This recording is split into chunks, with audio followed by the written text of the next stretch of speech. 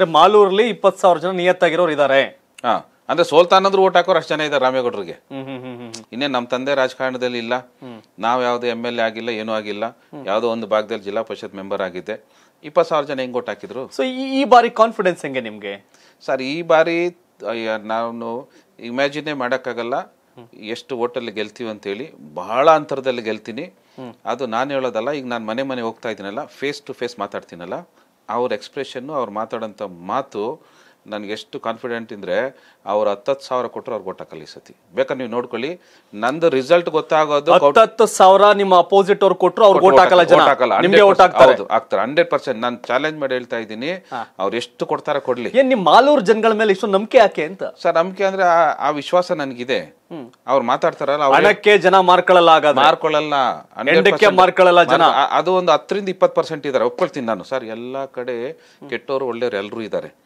ಆದ್ರೆ ಇಪ್ಪತ್ತು ಪರ್ಸೆಂಟ್ ಜನ ಹಣನ್ನೇ ನೋಡಿ ಓಟ್ ಹಾಕೋರು ಇದ್ದಾರೆ ನಾನು ಅವ್ರ ಬಗ್ಗೆ ಮಾಲೂರು ಜನ ಒಳ್ಳೆಯವರಿದ್ದಾರೆ. ಒಳ್ಳೆಯವರಿದ್ದಾರೆ. ಅವ್ರು ರಾಮೇಗೌಡರಿಗೆ ಓಟ್ ಹಾಕ್ತಾರೆ. ಹೌದು ಹಂಡ್ರೆಡ್ ಪರ್ಸೆಂಟ್ ಹಾಕ್ತಾರೆ. ಆಮೇಲೆ ಅದರಲ್ಲೂ ಈಗ ಇನ್- ಇನ್ನು ಮೂವತ್ತು ಪರ್ಸೆಂಟ್ ಜನ ಇದಾರಲ್ಲ ಅವರು ಆ ಕಡೆ ಈ ಕಡೆ ಕೂಡ ಆಗ್ಬೋದು. ದುಡ್ಡು ತಗೊಂಡ್ಮೇಲೆ ಅರ್ಧ ಆ ಕಡೆ ಅರ್ಧ ಈ ಕಡೆ ಹಾಕೋರು ಇದ್ದಾರೆ ದುಡ್ಡು ತಗೊಂಡು. ದುಡ್ಡು ತಗೊಂಡಪ್ಪ ಅವರು ಕೊಟ್ಟಾರ ಇವರು ಕೊಟ್ಟಾರ ಅವ್ರು ಅರ್ಧ ಹಾಕೋರು ಇದ್ದಾರೆ ಐವತ್ತು ಪರ್ಸೆಂಟ್ ಮಿನಿಮಮ್ ಐವತ್ತು ಪರ್ಸೆಂಟ್ ಜನ ದುಡ್ಡಿಲ್ದೆ ಓಟ್ ಹಾಕೋರು ಇದ್ದಾರೆ ಇವತ್ತು ಅಂದ್ರೆ ಮಾಲೂರಲ್ಲಿ ಒಂದು ಲಕ್ಷದ ಅರವತ್ತು ಸಾವಿರ ಓಟ್ ಆಗುತ್ತೆ ಒಂದು ಲಕ್ಷದ ಅರವತ್ತು ಸಾವಿರ ವೋಟಿಂಗ್ ಅಲ್ಲಿ ಫಿಫ್ಟಿ ಪರ್ಸೆಂಟ್ ಜನ ನಿಯತ್ತಾಗಿದ್ದಾರೆ ಆ ಫಿಫ್ಟಿ ಪರ್ಸೆಂಟ್ ಜನ ರಾಮೇಗೌಡ ಓಟ್ ಹಾಕ್ತಾರೆ. ಎಂಬತ್ತು ಸಾವಿರ ಓಟ್ ತಗೊಂಡಿಲ್ಲ ಅಂದ್ರೆ ನಾನು ಚಾಲೆಂಜ್ ಮಾಡಿ ಹೇಳ್ತಾ ಇದ್ದೀನಿ ಎಂಬತ್ತು ಸಾವಿರ ಮಿನಿಮಮ್ ತಗೊಳ್ಳಿ ತಗೊಳ್ತೀನಿ ನಾನು. ಆ ಕಾನ್ಫಿಡೆಂಟ್ ನನಗಿದೆ. ಯಾಕಂತ ಹೇಳ್ತಾ ಇದ್ದೀನಿ ಅಂದರೆ ನಾನು ನೋಡಿ ಇವಾಗ ಈಗ ಇರ್ತಕ್ಕಂಥ ಪ್ರೆಸೆಂಟ್ ರಾಜಕಾರಣಿ ಇರ್ಬೋದು ಹಿಂದೆ ಇರೋರು ಇರ್ಬೋದು ಅವರೆಲ್ಲ ಜನಗಳು ಸೇರಿಸ್ಬೇಕಾದ್ರೆ ಏನೋ ಒಂದು ಗಿಫ್ಟ್ ಎತ್ಕೊಂಡು ಹೋಗ್ತಾರೆ. ಗಿಫ್ಟ್ ಕೊಟ್ರೆ ಮಾತ್ರ ಅದೇ ಅವ್ರು ಓಪನ್ ಆಗಿ ಹೇಳ್ತಾ ಇದ್ದಾರಂತೆ ಏನು ನೀವು ಇವು ಬೆಡ್ಶೀಟ್ ಕೊಡ್ತಾ ಇದ್ದೀರಂತ ಅಂತ ಯಾರೋ ಹೇಳಿದ್ರಂತೆ. ಈಗಿರೋ ಎಂ ಎಲ್ ಎ ಬೆಡ್ಶೀಟ್ ಕೊಡ್ತಾ ಇದ್ದಾರೆ. ಯಾಕೆ ನೀವು ಬೆಡ್ಶೀಟ್ ಕೊಡೋದಂತ ಯಾರೋ ಕೇಳಿದ್ದಾರೆ.